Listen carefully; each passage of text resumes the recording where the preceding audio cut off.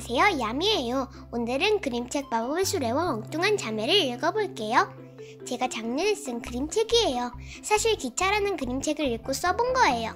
기차는 천미진 작가님이 글을 쓰고 설용주 작가님이 그림을 그리셨는데요. 통일에 대한 이야기가 담겨 있어요.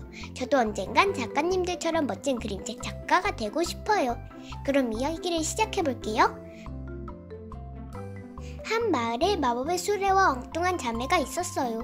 엉뚱한 자매는 마법의 수레를 타고 어디든 갈 수 있었어요. 한 곳만 빼고요.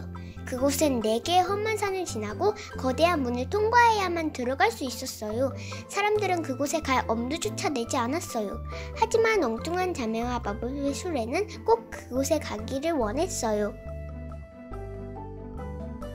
엉뚱한 자매는 네 개의 험한 산에서 빨강, 주황, 노랑, 초록의 연료를 찾아 마법의 수레에 넣었어요.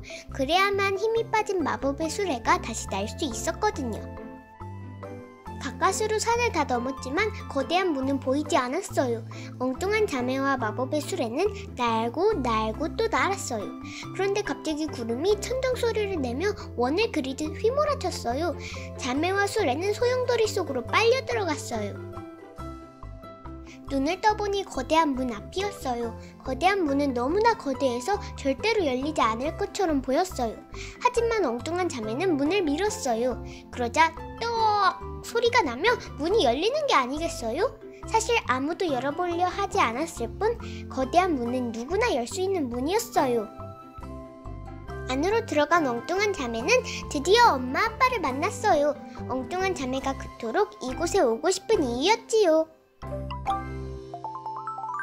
구독, 좋아요 눌러주세요.